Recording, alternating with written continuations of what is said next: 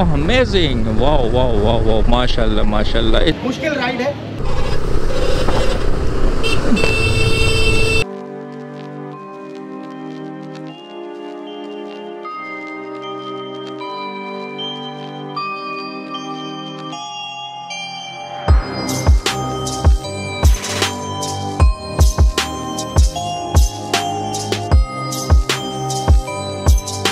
साढ़े चार सौ किलोमीटर राउंड ट्रिप है, जिसमें ज़्यादातर हिस्सा ऑफ़ रोड है।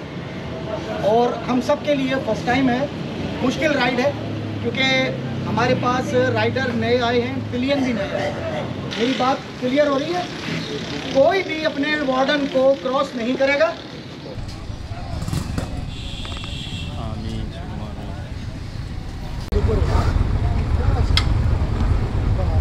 और ये कमेंट नहीं करूँगा अगर हम हम लोग कम से कम आए तो। हाँ। यार हम कितने था एक लांडी से एक कोरंगी दो तीन चार मैं पाँच। काफ़ी है ना यार। आपके कितने देखे थे? दे दिए थे आपने। हो गया था हाँ हो गया था। बसमीम सुबहान अल्लज़ी सख़र लना हाजा वमा कुन्ना लहु मुकरनीन। व इन्ना इला रब्बिना लमुनकलिबून।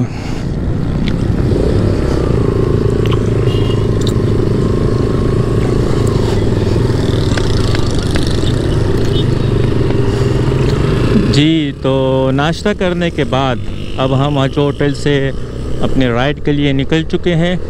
मैं आपको बताता चलूँ कि इस राइड में हमारे साथ टोटल जो है वो 40 बाइक्स मौजूद हैं और क्योंकि कुछ साथियों के साथ दो दो बंदे भी हैं तो इसलिए टोटल जो तादाद है अफराद की वो 50 से ज़्यादा है, जबकि बाइक्स हमारे साथ इस वक्त शामिल है 40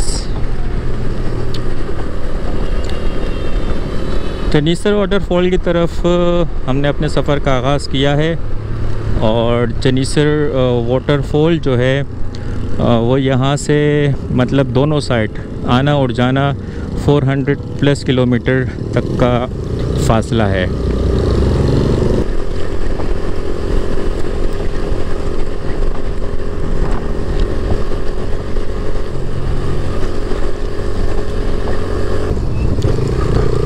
National highway hub toll plaza से अभी हम गुज़रने वाले हैं। और ये जो है अब हम हब टूल प्लाज़ा को क्रॉस कर चुके हैं।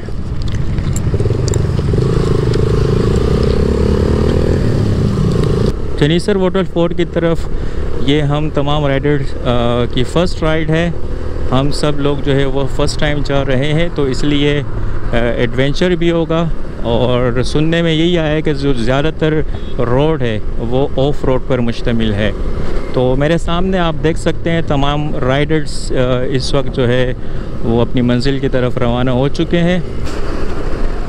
ये बड़े बड़े दे vehicle container truck trawler dumpers और उसके साथ साथ हमारे ये सारे नन्हे मुन्ने छोटे बाइकर्स इस वक्त अपने सफ़र पर रवा, दवा हैं।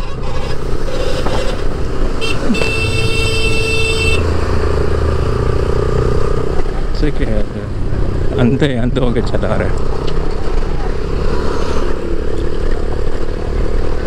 ऊपर बैठे होते हैं, नीचे देखते नहीं है कि गाड़ी वाड़ी आ रही है यानी बस जाओ भाई, घुसो। इतना बड़ा ट्रक है भाई, नीचे थोड़ा सा शीशे में देख भी लो।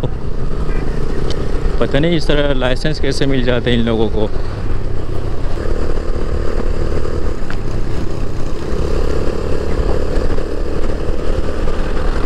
बच्चे हैरान होकर देख रहे हैं कि भाई, ये इतनी बाइक साज जा कहाँ रही है? हमें तो कभी कभार एक बाइक भी देखने को नहीं मिलती और आज ये खान साहब इतने लाइनअप पे खड़े होकर कहाँ निकल गए भैया? और ये मिट्टी के पहाड़ भी यहाँ पर खड़े हैं। अब ये नहीं पता यार, ये कौन सी वाली बजरी है, मिट्टी है क्या है? इस वक्त जिस पुल पर मैं इस वक्त राइड कर रहा हूँ यहाँ से बलूचिस्तान का आगाज़ हो जाता है। आप एक तरीके से कह सकते हैं कि ये सिंध और बलूचिस्तान का बॉर्डर है।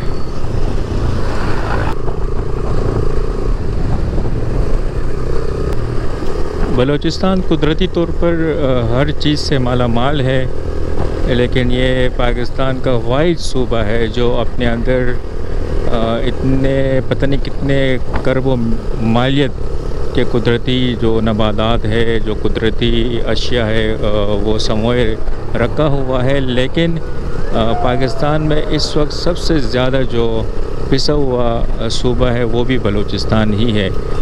बलूचिस्तान से निकलने वाली गैस पूरे पाकिस्तान को प्रोवाइड की जाती है, लेकिन बदकिस्मती से वही जो गैस है, वो यहाँ के लोगों को नहीं मिल पाता।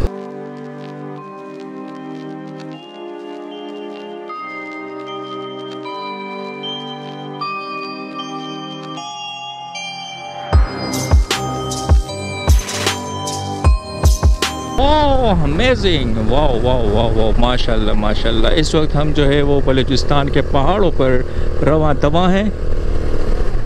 यकीनन आपको भी बहुत मज़ा आ रहा होगा इन बेहतरीन और ख़ूबसूरत जगहों को देखकर। और हमारे साथ जाने का आपका भी दिल कर रहा होगा और हम आपको दावत देते हैं कि आप भी हमारे साथ नेक्स्ट राइड में शामिल हो जाएँ। इसी रोड पर आगे जाके जो है ना बहुत ही खूबसूरत तराशे हुए पहाड़ ये आपको नज़र आएँगे और यही यहाँ की खूबसूरती है।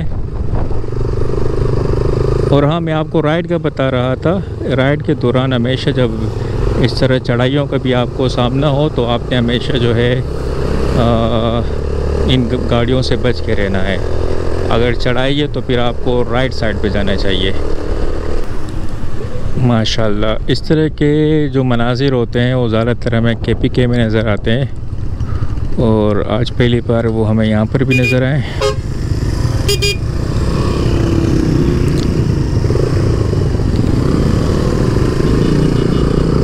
माशाल्लाह।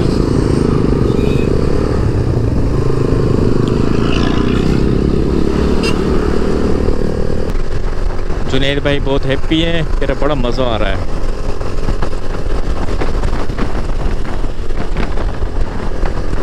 ये भाई लेफ़्ट राइट साइड पर ग्रीनरी देखी है दरमियान में ब्लैक कारपेट रोड और हमारी माशाल्लाह खूबसूरत राइट और वो भी बड़ी स्पीड से वाह अमेजिंग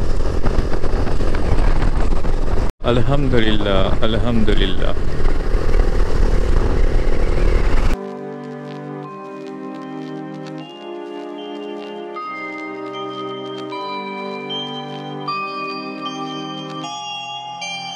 जब से हम बलूचिस्तान में इंटर हुए हैं, ये मुझे वायद इंडस्ट्री नज़र आई है। अब ये नहीं पता कि ये किस चीज़ की इंडस्ट्री है।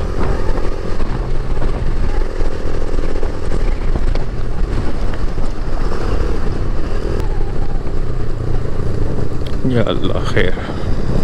स्लो में इस गाड़ी से साइड पे ही निकलना बेहतर है।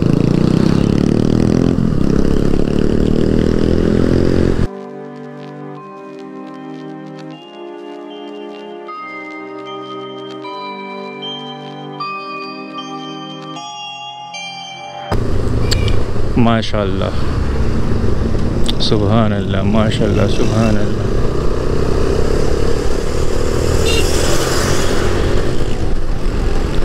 यहाँ पर पहाड़ और बिल्कुल पहाड़ों के बाद अगर आप सामने देखें तो खूबसूरत ग्रीनरी है।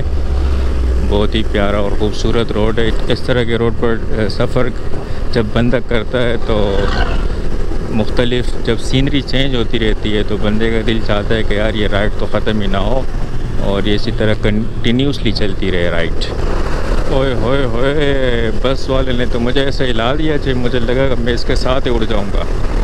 तो आज वो होटल यानी कि बल्दिया से राइड करते हुए यहाँ तक हमें समथिंग वन आवर हो चुका है।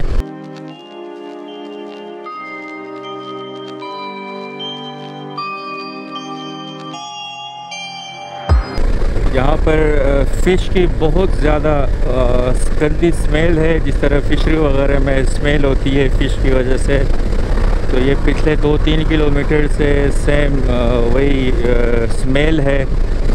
और मैं भी आगे जाके थोड़ा सा ख़त्म हो जाए।